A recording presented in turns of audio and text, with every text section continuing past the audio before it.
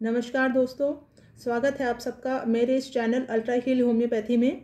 मैं डॉक्टर आरती पाठक और आज मैं आपसे चर्चा करूँगी साइनोसाइटिस के बारे में और उसके होम्योपैथिक ट्रीटमेंट के बारे में हम जानकारी लेंगे।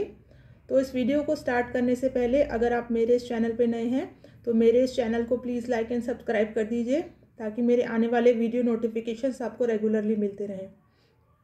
तो दोस्तों, सबसे पहले हमारे लिए ये जानना ज़रूरी है कि साइनसिस क्या है तो there are four pair of paranasal sinuses in the head these are the frontal sphenoidal ethmoidal and maxillary तो इनकी जो लोकेशंस हैं, वो बेस बेसिकली फेस में फ्रंटल ये फ्रंटल साइनस की लोकेशन है इथमॉइडल इथमॉइडल और स्फिनॉइडल की ये लोकेशन है, और ये मैग्जिलरी साइनस की लोकेशन है। तो normally these are filled with air यानी कि ये एयर फिल्ड रहते हैं और हॉलो कैविटीज़ होती हैं। अगर ये इन्फेक्टेड हो जाती हैं तो इसके अंदर फ्लूड फिल हो जाता है और स्वेलिंग हो जाती है साइनसिस की। और ये जो नॉर्मल जो साइनस की कैविटीज़ हैं चैनल है जिसमें से प्रॉपर जो ड्रेनेज होती है, वो ऑब्स्ट्रक्ट हो जाती है। तो जो इसका डिस्चार्ज है, वो ऑब्स्ट्रक्ट हो जाता है और स्वेलिंग हो जाती है। तो साइनोसाइटिस में, अगर बहुत ज़्यादा अगर क्रॉनिक रहता है साइनोसाइटिस तो डिस्चार्ज है, वो कम्प्लीटली ऑब्स्ट्रक्ट हो जाता है। तो उसमें पेशेंट की जो नोज़ है वो कंप्लीट ऑब्स्ट्रक्शन हो जाता है और नोस्ट्रिल्स जो हैं वो ऑब्स्ट्रक्ट हो जाते हैं। तो साइनोसाइटिस एसोसिएटेड हो सकता है नेज़ल पॉलिप्स के साथ और अगर पेशेंट को डेविएटेड नेज़ल सेप्टम है, यानी कि जो उसका नेज़ल सेप्टम है, वो वन साइड डेविएटेड है तो उसको साइनोसाइटिस की जो प्रॉब्लम है, वो ज़्यादा कॉमनली हो सकती है। तो कई बार पेशेंट को अगर एलर्जिक कंडीशन है उसको, यानी उसको रिकरेंट कोल्ड कोराइजा हो जाता है तो उसके बाद साइनस अटैक्स उसको एलर्जिक टेंडेंसी या इन्फ्लेमेटरी रिस्पॉन्स की वजह से उसको साइनस अटैक्स जो हैं वो रेगुलरली हो सकते हैं। तो अब इस केस में जो होम्योपैथिक मेडिसिन बहुत ही इफ़ेक्टिव रहती हैं और डेफिनेटली होम्योपैथिक ट्रीटमेंट है, वो पेशेंट के लिए ज़्यादा बेनिफिशियल रहता है क्योंकि ये ना केवल साइनस अटैक्स को जड़ से ख़त्म करता है, बल्कि जो टेंडेंसी है पेशेंट की रिकरेंट कोराइजा की या एलर्जिक टेंडेंसी है पेशेंट की, इसको वो होम्योपैथिक मेडिसिन जड़ से ख़त्म करती हैं। अब हम जानते हैं कि इसके जो सिम्टम्स हैं, यानी कि कॉमन प्रेजेंटेशन है पेशेंट की, वो क्या रहती है। तो सबसे पहले मैंने बताया कि patient comes with the complaint of respiratory problems तो उसको सबसे पहले जो ब्रीदिंग है नोज़ में से ब्रीदिंग है, वो कंप्लेंट रहती है। ब्रीदिंग डिफ़िकल्टी होती है, उसको या तो नोस्ट्रिल एक साइड कम्प्लीटली ऑब्स्ट्रक्टेड रहता है, या both nostrils are completely obstructed और पेशेंट को मुँह से सांस लेना पड़ता है। और उसको जो पेन है वो फ्रंटल साइनसिस में, यानी कि फोर हेड में पेन रह सकता है या उसको रूट ऑफ़ द नोज़ या bridge of the nose nasal septum जो है वो पेनफुल रहता है। और चीक बोन्स में स्वेलिंग अगर कई बार अगर चीक बोन्स में स्वेलिंग है तो रेडनेस भी है और उसको पेन प्रेशर फील होता है फेस में। तो जो सेंसरी नर्व है ट्राइजेमिनल नर्व अगर वो इन्वॉल्व होती है तो पेशेंट को वन साइड जो है न्यूरैल्जिया फेस में वो फील होता है नर्व पेन जो है वो फील होता है। तो ये कांस्टेंट जो कंप्लेंट्स हैं वो पेशेंट की रहती हैं। कई बार पोस्ट नेज़ल डिस्चार्ज है, यानी कि जो नाक के थ्रू पीछे गले में बलगम गिरता है, ये पेशेंट की जो मोस्ट कॉमन कंप्लेंट रहती है। उसके साथ साथ पेशेंट को साइनस हेडेक्स जो हैं वो कंप्लीट जो कई बार रहते रिकरेंस होती रहती है, वो साइनस हेडेक्स रहते हैं उसको। और पेशेंट को फीवर और वीकनेस भी रहता है कई बार अगर उसको अब बहुत ज़्यादा साइनस अफेक्टेड रहती हैं और बहुत ज़्यादा वीकनेस की प्रॉब्लम उसको हो सकती है। अब हम जानते हैं कि कौन कौन सी होम्योपैथिक मेडिसिन हैं जो इसको साइनोसाइटिस को क्योर करने में हेल्पफुल हो सकती हैं।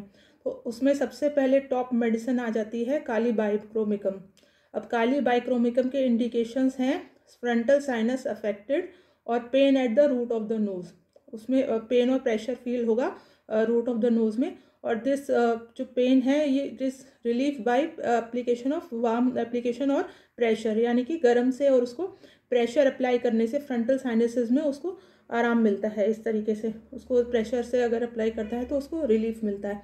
उसके साथ साथ जो पेशेंट का जो नेज़ल डिस्चार्ज है, यानी कि थिक डिस्चार्ज है, और ऐसा चिपचिपा, थिक डिस्चार्ज अगर उस पेशेंट को रहता है तो काली बाइक्रोमिकम उसको इंडिकेटेड यानी इंडिकेटेड रहती है और वो यूज़फुल हो सकती है पेशेंट को क्योर करने के लिए।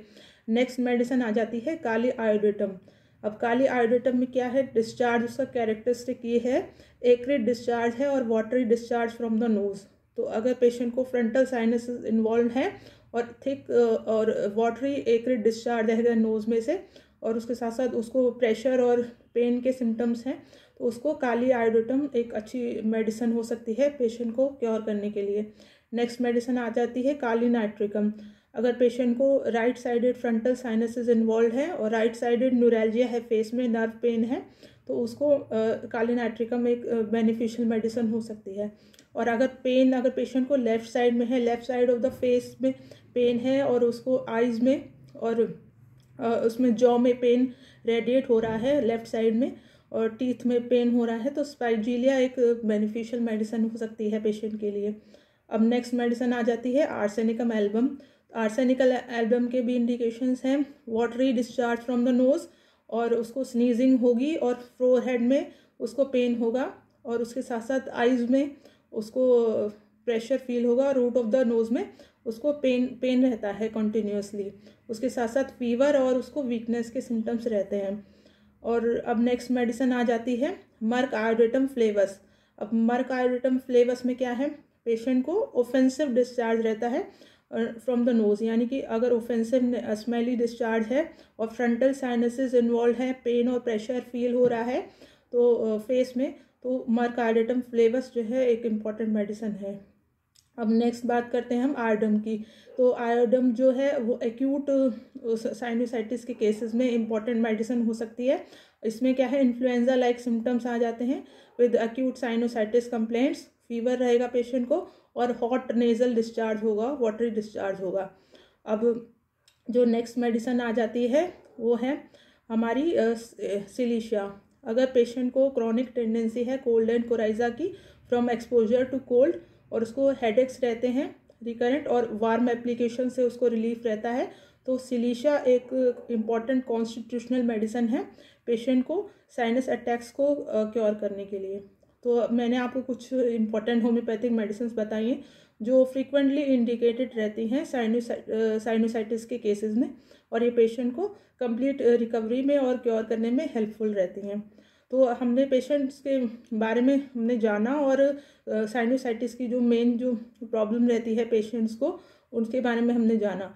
और कैसे हमने होम्योपैथिक मेडिसिन को डिफ्रेंशिएट किया through the symptomatology of the patient तो ये इंपॉर्टेंट यही रहता है होम्योपैथी में कि जो सिम्टम्स हैं पेशेंट के, वो डिफ्रेंशिएट करके उसको केस एनालिसिस के बाद मेडिसिन जो प्रिस्क्राइब की जाती है पेशेंट को अकॉर्डिंग टू द सिम्टम्स वही पेशेंट को क्योर करने में हेल्पफुल रहती हैं और वही पेशेंट को मेडिसिन लेनी चाहिए। तो इसलिए इंपॉर्टेंट है कि अपने डिटेल्ड जो केस एनालिसिस है, वो अपने फिजिशियन से आप शेयर करें और उसके बाद ही आप मेडिसिन लें।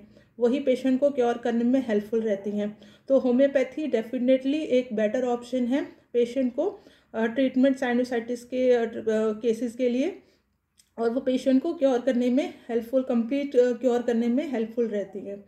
तो अगर आपको ये मेरी जानकारी अच्छी लगी हो तो मेरे इस चैनल को प्लीज़ लाइक एंड सब्सक्राइब कर दीजिए। Thanks for watching bye take care